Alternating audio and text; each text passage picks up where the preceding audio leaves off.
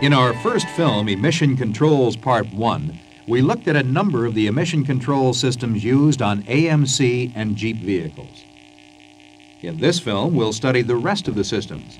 In the film itself, we'll look at the function of each system as well as its theory of operation. In the film reference book, you'll find the service procedures required to keep the systems in top operating condition. Before we get into our next system, let's look at the relationship between distributor spark advance, power output, and combustion temperature. This chart reveals an important fact. When ignition timing is over advanced to a certain point, power output increases and so does combustion temperature. But if timing is over advanced past this point, power output levels off, then begins to drop. But combustion temperature continues to increase. So too much spark advance serves only to increase combustion temperature. And we now know that higher combustion temperatures are accompanied by higher levels of nitrous oxides. This excessive emission of nitrogen oxides is eliminated by several types of spark control systems on AMC and Jeep vehicles. Shown here is the Spark Coolant Temperature Override, or CTO system. In this system, intake manifold vacuum provides full spark advance when the engine is cold. This full advance condition results in better drivability during engine warm-up. However, when the engine warms up, carburetor ported vacuum advances the spark. The heart of the system is the CTO switch. This is the component that routes either intake manifold vacuum or carburetor ported vacuum to the distributor advance mechanism. It makes this choice based on engine coolant temperature. Here, the engine temperature is less than 160 degrees. The spring on the plunger holds the plunger in this position. The lower O-ring is held against its seat, so intake manifold vacuum is routed out port D to the distributor advance mechanism. As we said, this full spark advance enhances drivability during warm-up. Now the engine has warmed up the coolant temperature has increased to about 160 degrees, causing the temperature of the wax power element to increase. The wax has expanded, forcing the piston upward. Now the upper O-ring blocks off intake manifold vacuum, while carburetor ported vacuum is routed to the distributor advance mechanism. So now the vacuum advance is controlled by throttle opening. This CTO switch is used on some vehicles equipped with heavy-duty cooling systems. In some applications, this heavy-duty switch is used in series with the standard switch we just saw. The standard CTO switch is connected to manifold and carburetor ported vacuum, as it is when used by itself. But instead of routing vacuum to the distributor, it routes it to a port on the heavy-duty cooling switch. The heavy-duty cooling switch is also connected to a manifold vacuum source. As you can see, this switch ultimately decides which type of vacuum is routed to the distributor advance mechanism. Let's see how this system works. Here, the engine temperature is less than 160 degrees. The standard CTO switch routes manifold vacuum to the heavy-duty CTO switch. The heavy-duty switch plunger is in its down position so this manifold vacuum is routed to the distributor. Now the engine temperature has reached 160 degrees. The standard CTO switch has made its internal shift and carburetor ported vacuum is routed to the heavy-duty cooling switch. The heavy-duty cooling switch has not made its internal shift, so it routes this ported vacuum to the distributor. Now, though, the engine temperature has exceeded the normal operating range and has reached 220 degrees. Sensing this, the heavy-duty cooling CTO has made its shift. The ported vacuum is blocked off and manifold vacuum is routed directly through the heavy-duty cooling CTO to the distributor. This full spark advance increases the engine idle speed. As a result, engine cooling is improved and idling boiling tendencies are reduced. On some newer vehicles equipped with heavy-duty cooling systems, a dual-function CTO switch is used in place of the two-switch system. Let's check it out. Here the engine temperature is less than 149 degrees. To provide better drivability during warm-up, manifold vacuum is routed to the distributor advance mechanism. Remember that full spark advance is now applied. Now the engine has warmed to about 149 degrees. The expanding wax power element has forced the plunger up into the position shown here. Intake manifold is blocked and carburetor ported vacuum is directed to the distributor advance mechanism. This continues until the engine temperature reaches 220 degrees. Now the carburetor ported vacuum is blocked and intake manifold vacuum is once again directed to the distributor advance mechanism. The full spark advance increases engine idle speed, which improves engine cooling efficiencies and reduces idling boiling tendencies. Here's another device that directs vacuum to the distributor advance mechanism on some AMC and Jeep vehicles, the nonlinear vacuum regulator valve. This unit operates quite differently from the CTO switches.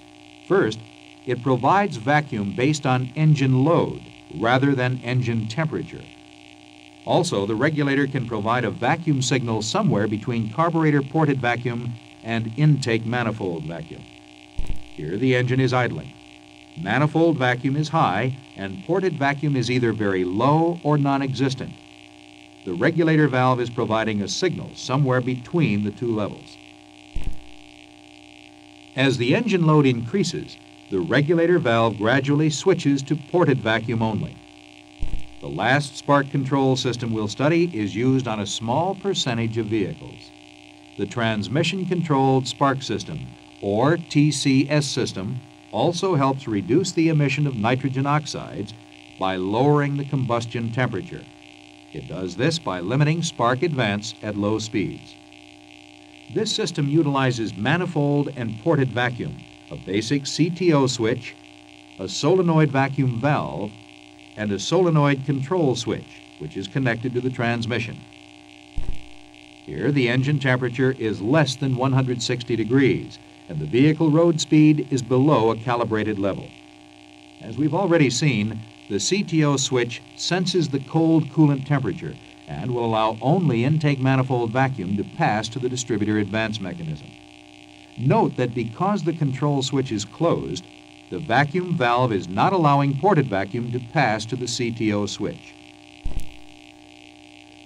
Now the vehicle is operating at a higher speed as you can see, the control switch is now open. On vehicles equipped with automatic transmissions, the switch is opened by transmission governor oil pressure. On vehicles equipped with manual transmissions, the control switch is opened mechanically when high gear is engaged. The result is the same, though. The ground to the vacuum valve is broken, and ported vacuum is routed to the CTO switch. But this doesn't affect the operation of the CTO switch at all. Gauging that the coolant temperature is still low, the CTO switch will only allow manifold vacuum to pass to the advance mechanism. The engine has now warmed to about 160 degrees, and the high speed is being maintained. The solenoid vacuum valve is still allowing carburetor-ported vacuum to pass to the CTO switch. Sensing the warmer coolant temperature, the CTO has made its internal shift, allowing the carburetor vacuum to advance the spark.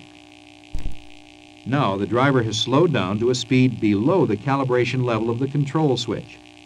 So the switch has closed, grounding the vacuum valve. Carburetor vacuum is now blocked. Remember that the CTO switch still wants to provide ported carburetor vacuum to the distributor advance mechanism, but none is available. So, when a warm engine is being run at low speeds, no spark advance takes place. As a result, combustion temperatures and NOx emissions are reduced. On some vehicles equipped with transmission-controlled spark, this vacuum spark control check valve is added. As we've seen, manifold vacuum applies the spark when the engine is cold. But if the engine is accelerated, manifold vacuum drops and vacuum advance is lost. The check valve, however, traps the strong vacuum between the check valve and the CTO switch. The distributor remains in the full advance mode until the CTO switches to ported vacuum. The trapped vacuum slowly bleeds down when the engine isn't running. Stop the projector and read pages 2 through 8 in the reference book. Take the quiz, then turn the projector back on. Our next system is the exhaust gas recirculation, or EGR system.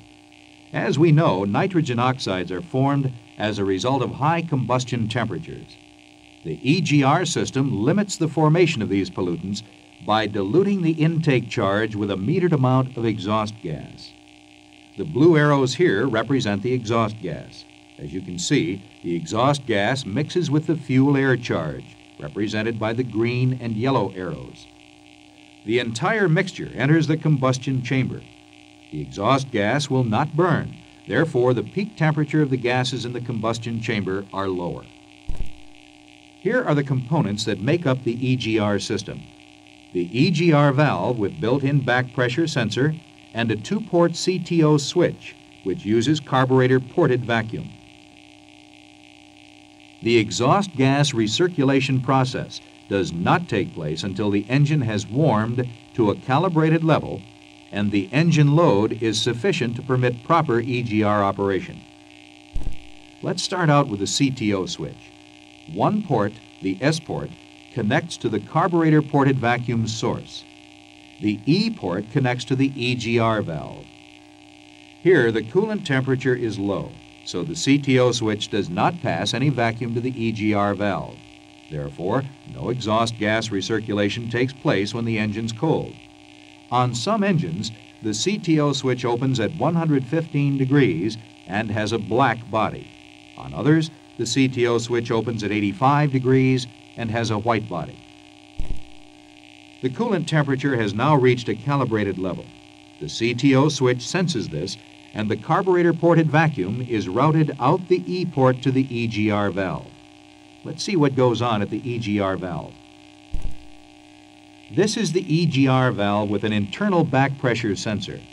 There are two diaphragms in this valve, a power diaphragm and a control diaphragm. There's a bleed valve in the power diaphragm, as you can see.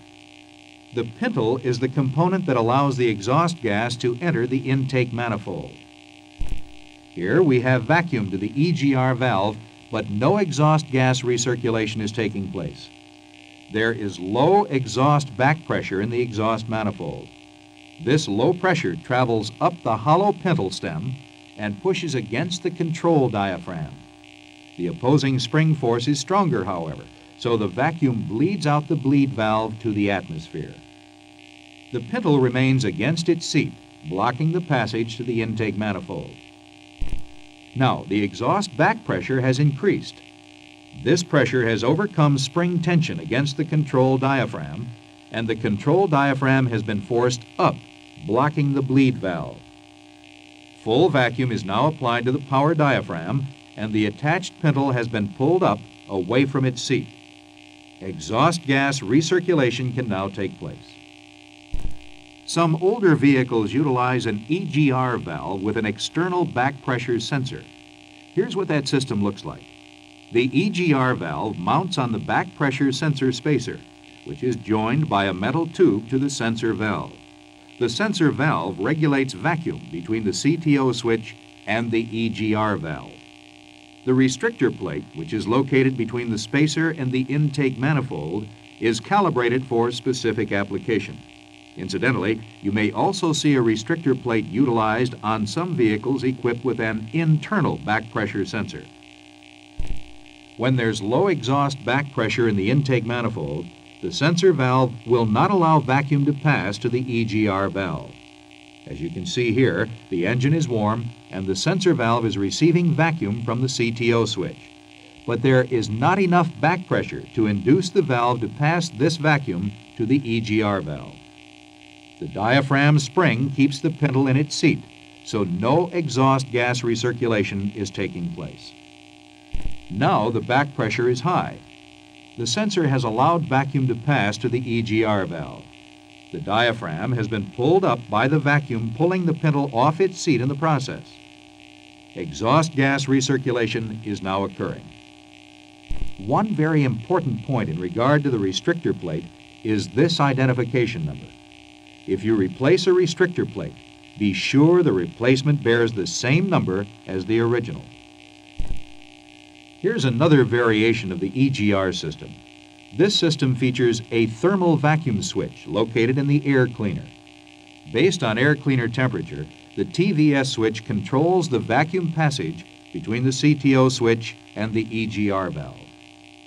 Here, the CTO switch wants to route vacuum to the EGR valve because coolant temperature is high enough. But first, the vacuum must pass through the TVS switch. As you can see by the frigid green arrows, the air is very cold. The TVS switch senses this and blocks vacuum to the EGR valve. Now, exhaust gas recirculation can't take place, and cold drivability is enhanced. Now the incoming air has warmed up. The TVS switch now connects its two ports and vacuum is routed to the EGR valve. Now, if there is sufficient exhaust back pressure at the sensor in the EGR valve, exhaust gas recirculation can take place. Stop the projector and read pages 9 through 12 in the reference book. Take the quiz, then turn the projector back on. Now, let's check out another emissions control system, the fuel vapor control system. This system prevents raw vapors, which contain unburned hydrocarbons, from escaping into the atmosphere. Basically, this system stores vapors gathered from the carburetor and fuel tank, then routes these vapors into the combustion chamber when the engine is started. When the vehicle is not running, vapors from the fuel tank and carburetor bowl are stored in the storage canister. As you can see here, the storage canister contains charcoal that absorbs the vapors onto the surface of the charcoal granules. But let's back up a minute and trace the paths the vapors must take to get this far. To get to the storage canister, tank vapors must pass through a rollover check valve. On some vehicles, the vapors must also pass through a liquid check valve. Let's take a quick look at these components. The liquid check valve prevents liquid fuel from reaching the canister. This unit contains a float and needle assembly, as you can see here. It will allow vapors to pass freely, but if liquid fuel should for any reason reach the liquid check valve, the liquid fuel forces the float up and the needle is seated. The liquid can't go any further. The vapors also pass through the rollover check valve on their way from the fuel tank to the storage canister. This device prevents fuel flow from the tank in the event of vehicle rollover. Here, everything is normal and the vapors pass through the valve. If the vehicle flips over and liquid fuel gets as far as the rollover check valve, the stainless steel ball forces the plunger to seat. Fuel flow is now shut off. On some vehicles, vapors from the carburetor must pass through a liquid trap on their way to the canister. This trap prevents liquid fuel from getting to the canister. Note that when the vehicle is started, this trap is purged of its vapors. The vapors are purged from the canister by a staged dual purge system. When the engine is started, intake manifold vacuum pulls the vapors from the canister and liquid trap into the manifold, where they are directed to the combustion chambers. When carburetor ported vacuum reaches a certain level, as it has on the right here, the secondary purge circuit is opened and the canister is purged at a much higher rate. A small percentage of vehicles utilize this carburetor bowl cooling system. After engine shutdown, this system automatically cools the carburetor bowl when the underhood temperature is above a predetermined temperature. This reduces fuel percolation and the associated release of hydrocarbons into the atmosphere. Well, that's it. We've seen all of the emissions control systems used on AMC and Jeep vehicles in these two films. The PCV system, the automatic choke, catalytic converters, the thermostatically controlled air cleaner, air guard, the vacuum throttle modulating system, the various spark control systems, EGR, the fuel vapor control system, and finally the carburetor bowl cooling system. Yes, we've covered a lot of ground. I hope you've picked up some info you can put to use on the job because emission controls are here to stay, and it's up to you and me to see that the systems on our vehicles remain in top operating condition. Don't forget to hold on to the film reference books from both films. Now that you're familiar with the various systems, you can use the reference books as information sources when you're servicing the systems. Also remember that your technical service manuals provide complete application and service information for the emission control systems.